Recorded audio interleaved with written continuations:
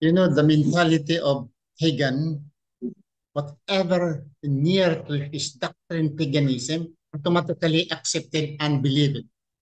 Example, in John chapter 8, verse 15, it says that before Abraham was, I am. So, literally, they believe that Jesus Christ existing before Abraham.